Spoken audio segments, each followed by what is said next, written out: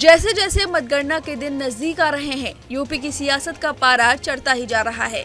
एक और समाजवादी पार्टी के राष्ट्रीय अध्यक्ष अखिलेश यादव लखनऊ में प्रेस कॉन्फ्रेंस कर मतगणना में धांधली होने की आशंका जता रहे हैं।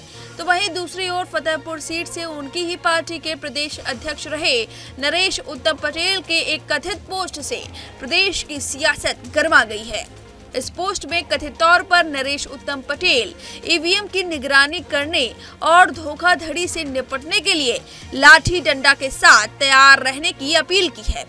सियासी गलियारों में ऐसी चर्चा है कि ये पोस्ट पहले फेसबुक पर पोस्ट की गई थी, लेकिन बाद में वायरल होने पर डिलीट कर दी गई।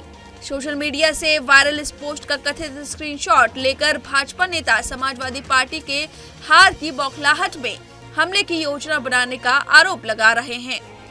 सोमवार की दोपहर नरेश उत्तम पटेल की कथित पोस्ट अचानक सोशल मीडिया पर वायरल होने लगी। इस पर सैकड़ों लोगों ने कमेंट किया। पोस्ट को लेकर पुलिस चौकन्नी हो गई।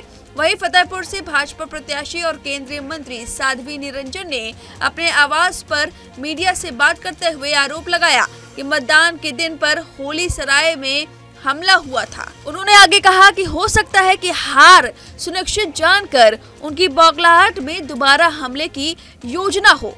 प्रशासन को इस पर नज़र रखना चाहिए। ऐसे लोगों को मतगणना स्थल से दूर रखना चाहिए। केंद्रीय राज्य मंत्री भाजपा प्रत्याशी साध्वी निरंजन ज्योति ने नरेश उत्तम की कथित पोस्ट को लेकर समाजवादी पार्टी पर हमला बोला है।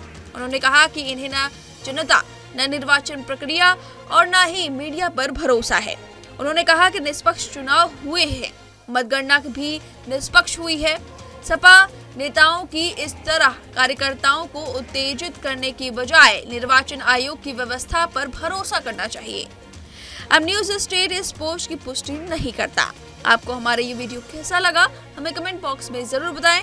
देश दुनिया की तमाम और यूपी उत्तराखंड की हर छोटी बड़ी खबरों के लिए न्यूज़ स्टेट चैनल को सब्सक्राइब करना ना भूलें।